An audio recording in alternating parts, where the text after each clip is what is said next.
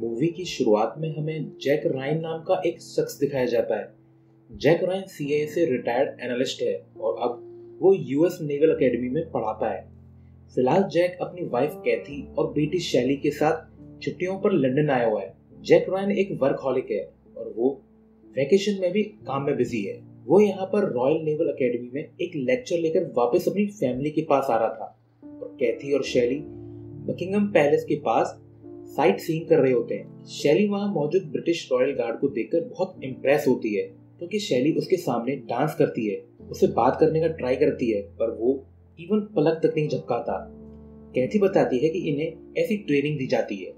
ये दोनों फिर जैक की तरफ़ बढ़ते हैं, पर यहाँ जुराई हुई एक कैब में कुछ टेररिस्ट मौजूद थे।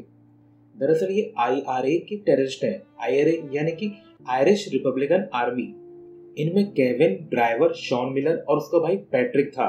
ये यहाँ पर British secretary of state for Northern Ireland, lord Holmes को किडनैप करने के लिए आए हुए हैं। Lord Holmes British royal family से बिलोंग करते हैं और केविन और उसके ग्रुप को पता था कि लॉर्ड होम्स अपनी बीवी बच्चों के साथ यहाँ से गुजरेंगे। केविन को उसकी एक साथी रेडियो पर बताती है कि लॉर्ड होम्स पहले से निकल चुके हैं तो ये टेररिस्ट गन लोड करके रेडी हो जाते हैं और लॉर्ड होम्स की गाड़ी को देखते ही उसको फॉलो करने लगते हैं और फिर अपने अपने मास्क पहन लेते हैं। वहीं जैक रायन स्ट्रीट क्रॉस करके अपनी बीवी बच्चों तक पहुँचने वाला था, जब लॉर्ड होम्स की कार इस एरिया को क्रॉस कर रही होती है। तभी यहाँ पर खड़ी एक कैब जिसको केविन की साथी चला रही थी, वो और केविन अपनी अपनी कैब से लॉर्ड होम्स की कार को ब्लॉक कर देते हैं और शॉन और उसके साथी जल्दी से बाहर आकर लॉर्ड होम्स की कैब को घेर लेते हैं। शॉन जल्दी से एक बॉम्ब को कैब के नीचे फिट कर देता है। दूर से राय ये सब देख लेता है और कैथी और सैली को ज़मीन पर झुक जाने को कहता है। और तभी यहाँ एक जोरदार ब्लास्ट हो जाता है। शॉन और उसके साथी फायरिंग स्टार्ट कर देते हैं। अब लॉर्ड होम्स का ड्राइवर और और उनका बॉडीगार्ड मारे जा चुके हैं। शॉन लॉर्ड होम्स को बाहर निकलने को कहता है और गाड़ी पर गोलियाँ चलाता है, पर अब राय से रुका नहीं जाता। वो जाके शॉन मिलर को डिसार्म कर देता है और उसकी पिस्टल ले लेता है, पर एक टेररिस्ट रायन को गोली मार देता है। पर रायन ज़्यादा जख्मी नहीं होता। पैट्रिक यहाँ से भागने का ट्राई करता है तो रायन उसे शूट कर देता है। अब यहाँ पर दो रॉयल गार्ड्स दौड़कर आ रहे होते हैं तो बाकी टेररिस्ट। शॉन और उसके मरे हुए भाई पैट्रिक को यहीं छोड़कर भाग जाते हैं, और फिर शॉन को गिरफ़्तार कर लिया जाता है। शॉन अपने मरे हुए भाई को देखकर बहुत दुखी होता है, और वो रायन को नफरत भरी निगाहों से देखता है।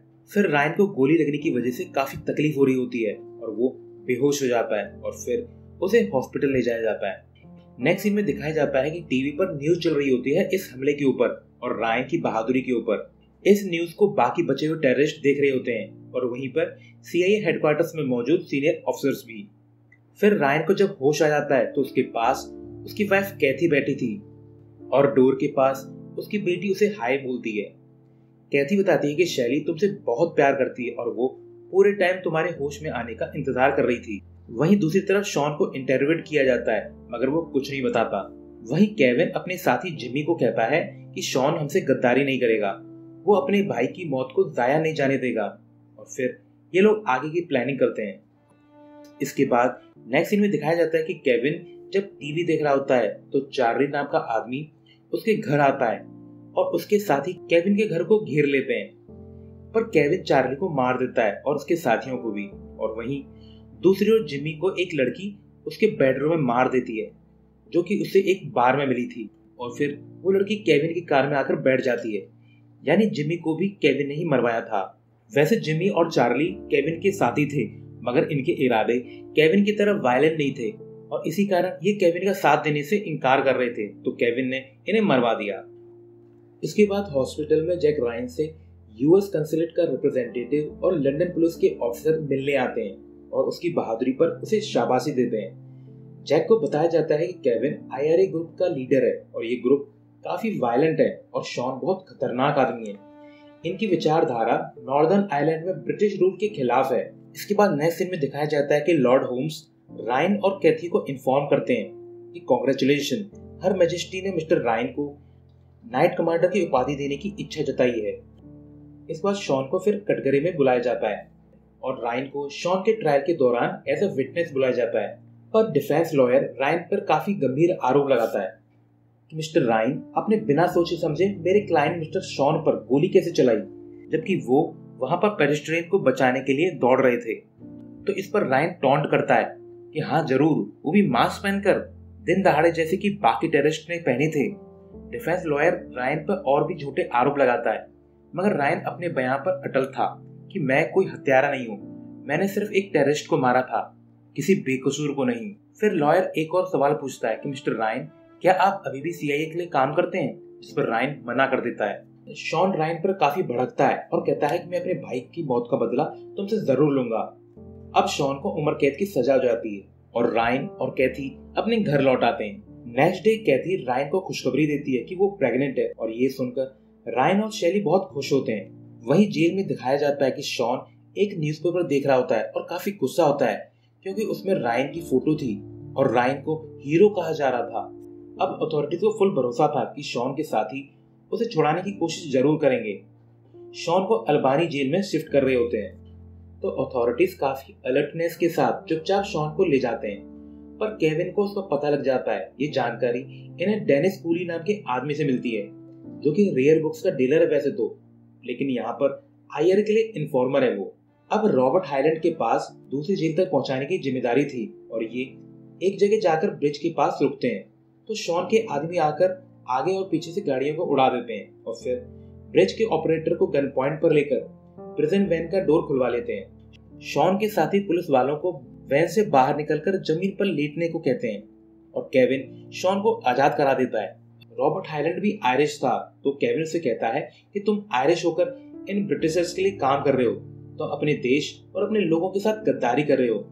केविन शॉन को गन दे देता है और फिर अपनी बढ़ात निकालने के लिए हाईलैंड और बाकी ऑफिसर और ब्रिज ऑपरेटर को मार देता है और फिर केविन और उसकी टीम यहाँ से चली जाती है। इसके बाद हमें दिखाया जाता है कि रायन और उसकी फैमिली वापस यूएस जाने की प्लानिंग कर रहे होते हैं। तो सीआईए के दो हाई लेवल ऑफिसर रायन के पास आकर शॉन के बारे में बताते हैं कि वो आज़ाद हो चुका है और वो तुमसे बहुत नफरत करता है। तुमने उसकी फैमिली छीनी है और वो अब तुम्हारी फैमिली को मारने ज़रूर आएगा। उनमें से एक ऑफिशियल रायन को फिर से सीआईए ज्वाइन करने के लिए कहता है, मगर रायन मना कर देता है। इसके बाद हमें दिखाया जाता है कि केविन और उसके साथी एक शिप से लीबिया चले जाते हैं, ताकि लॉर्ड होम्स को किडनैप करने की अपने नेक्स्ट अटेम्प्ट के लिए तैयारी कर सकें। दरअसल इनका मेन मकसद था लॉर्ड होम्स के बदले अपने आयरिश प्रिजनर्स को ब्रिटिश जेल से छुड़वाना। पर शॉन मिलर के दिमाग में तो सिर्फ़ एक ही बात चल रही थी, और वो थी जैक रायन और उसकी फैमिली को खत्म करना। तो वो कुछ लोगों को अपने साथ लेकर यूएस चला जाता है इस शॉर्ट मिशन पर। जब रायन यूएस नेवल अकेडमी में पढ़ाकर वापस आ रहा होता है तो रायन को वहाँ मौजूद एक क्लार्क नाम के आदमी पर शक होता है। रायन तेज तेज चलने लगता है तो क्लार्क उसका पीछा करता है। तो यहाँ एक कार में एक लड़की भी जैक रायन को मारने आई थी। और इस लड़की का नाम एनी है। और ये भी केविन की साथी है। जब क्लार्क जैक को मारने के लिए पिस्टल निकालता है तो जैक उस पर धावा बोल देता है। दोनों में जमकर हाथापाई होती है और क्लार्क जैक को जब शूट करने वाला होता है तभी यूएस मैराइंस के सार्जेंट्स क्लार्क को शूट कर देते हैं और वो लड़की एनी अपनी गाड़ी लेकर यहाँ से भाग जाती है। अब जैक रायन को पता है कि उसके बीवी बच्चे भी खतरे में हैं, तो वो गाड़ी लेकर जल्दी से यहाँ से निकल जाता है वहीं शॉन और उसके साथी शैली पर नज़र रख रहे होते हैं। जब कैथी शैली को पिकअप करके अपने साथ ले जाती है। शॉन उनकी गाड़ी का पीछा करता है। जैक रायन कैथी को अलर्ट करने के लिए बार बार कॉल करता है। पर कैथी अपने हॉस्पिटल से कॉल में बिज़ी थी, पर एंड में कॉल लग जाती है। जैक कैथी को बताता है कि जल्दी से सबसे पास के पुलिस स्टेशन पहुँच जाओ। कैथी अपनी बगल वाली गाड़ी में शॉन को देख लेती है, जो कि इन पर अटैक करने वाला था। तो कैथी अपनी कार को फुल स्पीड में दौड़ाती है, पर उसकी कार आउट ऑफ़ कंट्रोल होकर एक कंक्रीट बैरियर में क्रैश हो जाती है। और उसे देखकर शॉन को बहुत सुकून मिलता है और उसे लगता है कि कैथी और उसकी बेटी का काम तमाम हुआ। वहीं जैक रायन ट्रैफ़िक में फंसा था। वो क्रैश के बाद के उठते हुए धुएँ को देखकर घबरा जाता है। पर कैथी और शैली को एयरलिफ्ट करके हॉस्पिटल ले जाया जाता है। फिर डॉक्टर रायन को बताता है कि कैथी जल्दी से रिकवर हो जाएगी और उसकी प्रेगनेंसी भी सेफ़ है। पर शैली की हालत काफ़ी नाजुक है और बचने के चांसेस फिफ्टी फिफ्टी है। रायन फिर कैथी के पास आकर कैथी को दिलासा देता है कि शैली जल्दी रिकवर हो जाएगी। और रायन अपनी बेटी की हालत देखकर अब आग बबूला हो रहा है। पर थोड़ी ही देर बाद डॉक्टर आकर रायन को गुड न्यूज़ देते हैं कि अब शैली खतरे से बाहर है। अब जैक काफ़ी गुस्से में है और वो फैसला करता है कि वापस सीआई में जाकर काम करने का। हालाँकि वाइस एडमिरल जेम्स ग्रियर ने उसे पहले ही न्योता दिया था, फिर से सीआईए में काम करने का। पर तब तो जैक रायन ने मना कर दिया था, पर अब वो कैसे भी करके शॉन तक पहुँचना चाहता है। यहाँ सीआईए में मार्टिक केंटर नाम का आदमी है, जो कि आईआरए के टेररिस्ट ग्रुप में डील करता है। वो जैक से मिल जाता है, और फिर मार्टिक केंटर फिर जैक को कुछ लोगों से मिलवाता है, और जैक रायन को उसकी वर्क प्लेस भी दिखाता है। वहीं लंदन में पुलिस को एक टिप भी मिलती है कि एक जगह पर कुछ आईआरए टेररिस्ट बॉम्ब बना रहे हैं। तो पुलिस पूरी तैयारी के साथ वहाँ रेड मारती है, और सभी टेररिस्ट को पकड़ लिया जाता है। अगले सीन में रायन अपने काम से जब थक हार कर अपने मुँह धोने के लिए आया तो उसे एक फ्लैशबैक आने लगता है, जिस पर रायन ने पहले कभी ध्यान नहीं दिया था। जिसमें जब क्लार्क को मार दिया गया था, तब सामने एक गाड़ी में एक लड़की कार से निकल रही थी। रायन को शक होता है कि वो लड़की सस्पिशियस है, और वो लड़की लंदन धमाके के दौरान भी वहाँ पर कार में मौजूद थी। रायन जल्दी से आकर अपनी टीम के सामने बताता है कि जिमी जो कि आईआरए का वाइस कमांडर था, वो उसी रात मारा गया, जब शॉन पकड़ा गया था। और जिस रात जिमी मारा गया था, उस रात को वो एक होटल में एक लड़की के साथ था, जिसके लंबे सुनहरे बाल थे और जैक रायन अपनी टीम को उस लड़की की फ़ोटो दिखाता है और कहता है, ये लड़की बहुत सस्पिशियस है, क्योंकि मैंने से लंदन अटैक के वक्त और मुझ पर जब हमला हुआ, दोनों टाइम इसको देखा है। अगर ये मिल जाए तो आईआरए के टेररिस्ट भी मिल जाएँगे। इसके बाद हमें अफ्रीका में एक कैंप दिखाया जाता है, जहाँ पर शॉन एक हेलीकॉप्टर से आता है।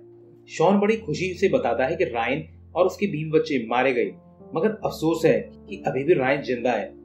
मगर केविन रिपोर्ट करता है कि रायन की बीवी और बच्चे अभी भी ज़िंदा हैं, उन्हें बचा लिया गया है।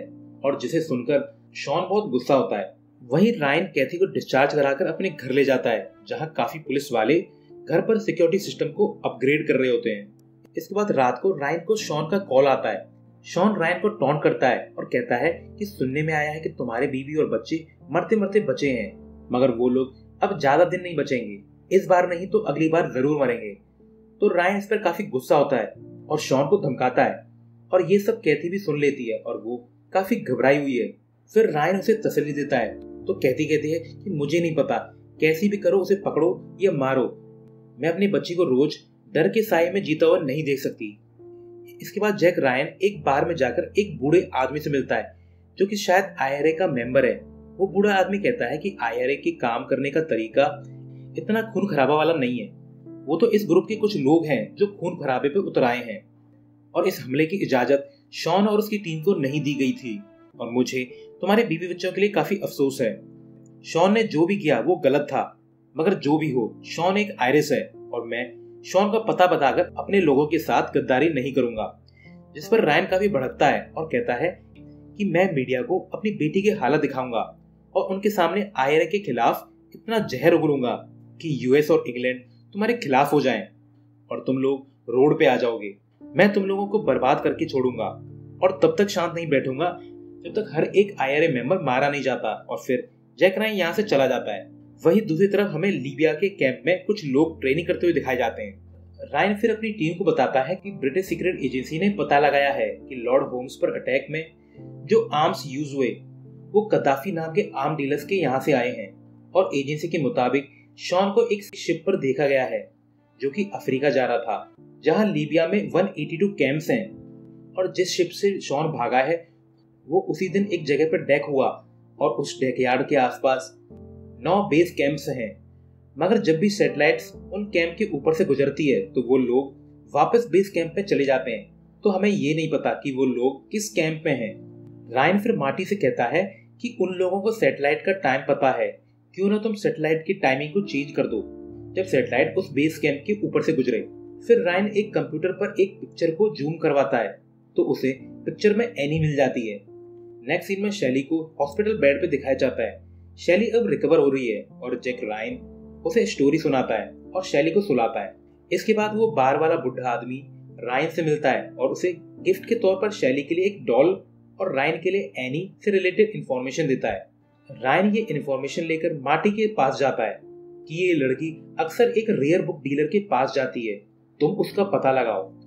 इसके बाद उस बुक डीलर के स्टोर पर नज़र रखी जाती है। मगर जब बुक स्टोर के लाइट में शॉर्ट सर्किट होता है, जब इलेक्ट्रिशियन उसे रिपेयर कर रहा होता है तो उसे एक सीक्रेट कैमरा मिल जाता है।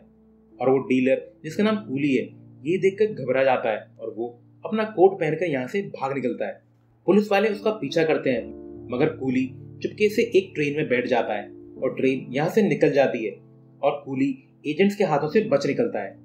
वहीं कुछ दिन बाद राइन एक और सैटेलाइट पिक्चर दिखाता है और इस पिक्चर में उन्हें डेनिस कूली मिल जाता है और अब इन्हें कंफर्म हो जाता है कि डेनिस कूली भागकर बाकी आईआरए वालों के साथ मिल चुका है और इससे इन्हें केविन के एग्जैक्ट बेस का, का पता चल जाता है। और फिर जैक रायन ये सभी इंफॉर्मेशन वाइस एडमिरल ग्रियर को भी सौंप देता है।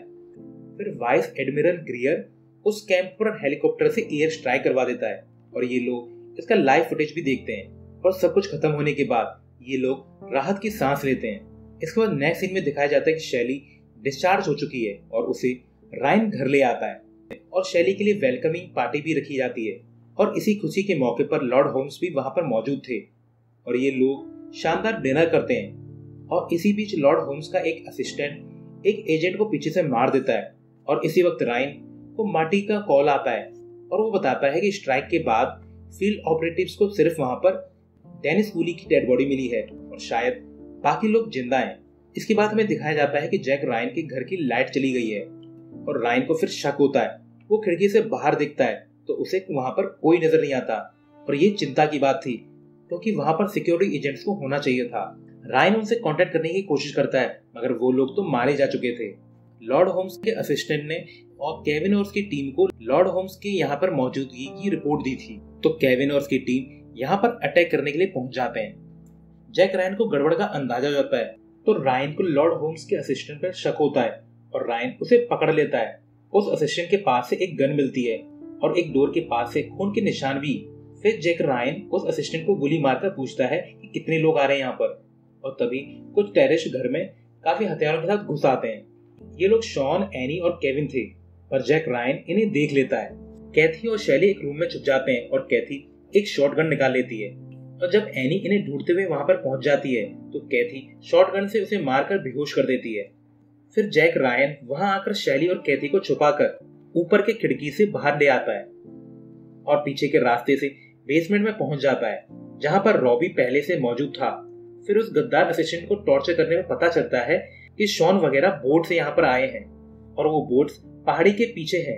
रायन सभी को लेकर बोट की तरफ़ भागने लगता है और फिर बोट लेकर यहाँ से निकल जाते हैं लोग। इसी बीच सीआईए की रेस्क्यू टीम हेलीकॉप्टर लेकर यहाँ पर इन्हें ढूँढने लगती है। अब केविन और उसके साथी रायन का पीछा कर रहे होते हैं, मगर जल्दी ही केविन को पता लग जाता है कि रायन उस बोट पे अकेला है और लॉर्ड होम्स उसमें नहीं है। केविन शॉन को रायन की बजाय लॉर्ड होम्स को ढूँढने के लिए चलने को बोलता है, पर शॉन किसी की नहीं सुनता और वो केविन और बाकियों को मारकर रायन को चीज़ करता है। शॉन के गोलियाँ चलाने पर रायन की बोट में आग ले जाती है।